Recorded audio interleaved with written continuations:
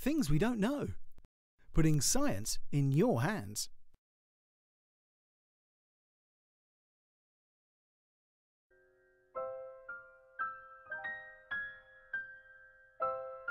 Pluto is dead, according to Mike Brown in How I Kill Pluto and Why It Had It Coming. But that doesn't mean we shouldn't go there.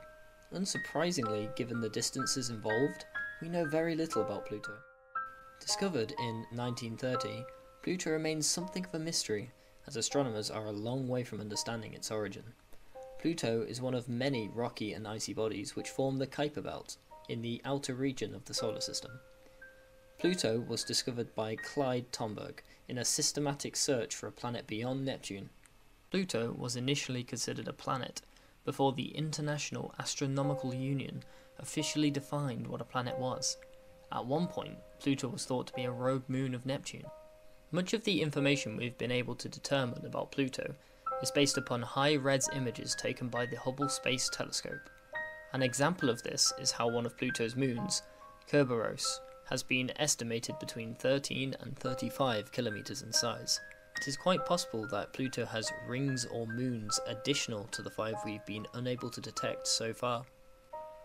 As part of the ongoing studies of Pluto, NASA launched the robotic spacecraft known as New Horizons in January 2006. This will be the first spacecraft to study Pluto and its moons. However, New Horizons is not scheduled to arrive till July 2015.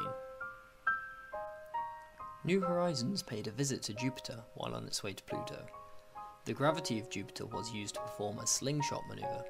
This enables New Horizons to gain speed and go further into the solar system. Scientists have shown that it might be possible to try and detect any signs of the flyby anomaly as a result of the visit. So far, nothing seems to have been published. The flyby anomaly was first noticed in December 1990 following Galileo's Earth flyby. New Horizons will approach Pluto at tremendous speeds, so New Horizons will pay a truly flying visit to Pluto, passing by at a whopping 14 kilometers every second. To put the scale in perspective, imagine trying to throw a marble such that it skimmed a football 500 meters away, traveling at 200 miles per hour. The precision level required of this maneuver is of Gaussian proportions. The information about New Horizons will be limited, due to the limited time frame. Nonetheless, the core mission objectives for New Horizons are to determine the global geology of Pluto and its largest moon Charon, map chemical compositions of their surfaces, and characterize the atmosphere of Pluto. There's probably more we don't know about Pluto than is that we do. Following the Pluto flyby, New Horizons flight path will send it deep into the Kuiper Belt.